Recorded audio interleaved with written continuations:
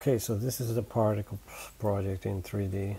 It's a similar structure to the previous uh, 2D project. The difference here, uh, essential, is that, that we're using openFrameworks uh, to be able to use 3D since the, the 2D version on P5.js uh, it, it's using Canvas. I'm, I'm not sure whether it would allow 3D. At least it did not at the time I was working on it.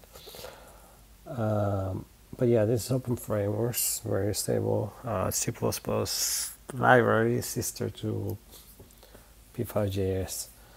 And I'll start, I guess, by running the project.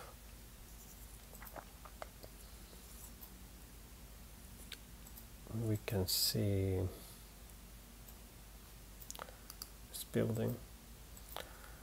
And we can see that there's a bunch of particles and they're being attra attracted to some center.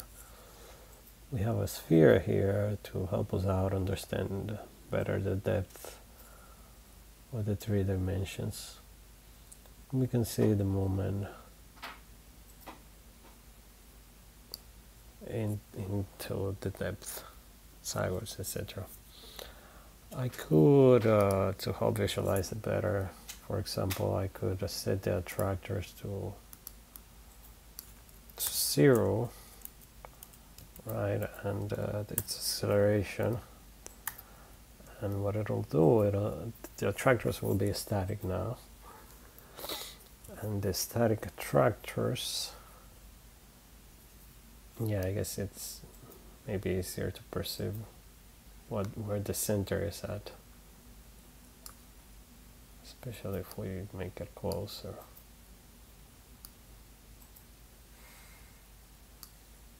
Right, and we can see that we're moving in three dimensions, though the movement is a lot of the times two-dimensional, but it's okay, I just wanted to see three dimensions involved.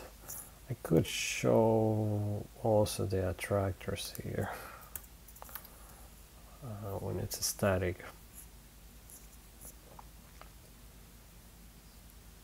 we could show the spheres as the centers. They're off the colors, but that's okay. And uh, yeah, we could also add the movement back again, the acceleration. And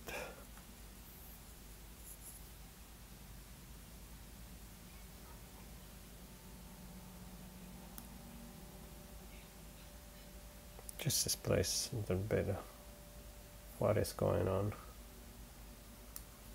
If I were to remove this again, not displaying, and I can uh, move the sphere as well. Uh, the, the larger space sphere, I guess. And uh, maybe harder to appreciate that, but you can see they move different planes. And I believe that's all I have for now.